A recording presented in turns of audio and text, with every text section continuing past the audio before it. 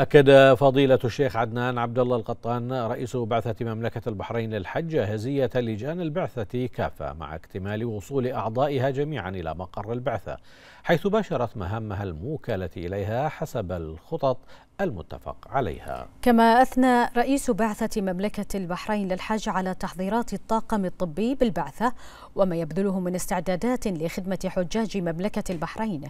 بدورها قامت اللجان الأمنية والهندسية بعدة جولات للإشراف على جاهزية مقرات السكن في مكة والمشاعر المقدسة. من جانب آخر أكد القطان إمكانية استفادة حجاج وأعضاء الحملات من الخدمات الطبية والصحية المتوافرة في مستشفى العقالي والذي يعتبر أحد أفضل المستشفيات التي تقدم العديد من الخدمات الطبية بالمدينة النبوية والذي تم التعاقد معه لتقديم خدمات العلاج للحجاج البحرينيين.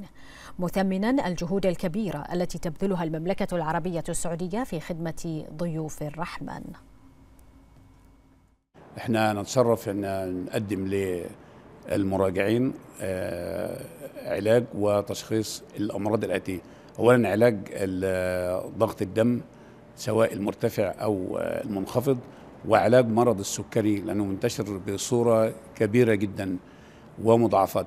آه، أيضا علاج الربو الشعبي والنزلات الشعبية. آه، علاج القولون بجميع أنواعه سواء القولون الهضمي أو العصبي. آه نتشرف برضو بأن إحنا بنعالج حالات الغدد الدرقية لأن حالات نقص الغدد الدرقية أو كسل الغدد الدرقية آه هنا منتشر كثير جدا. حالات زيادة نشاط الغده الدرقية حالات بسيطة ما هي كتير. آه كمان آه علاج آه جرثومة المعدة بنقدمه جميع حالات الطوارئ اللي بتجيلنا إحنا بنستقبلها. آه، أيضا علاج فيتامين د ونقص فيتامين د منتشر بصورة كبيرة جدا آه، في المملكة وفي الدول الخليج يعني.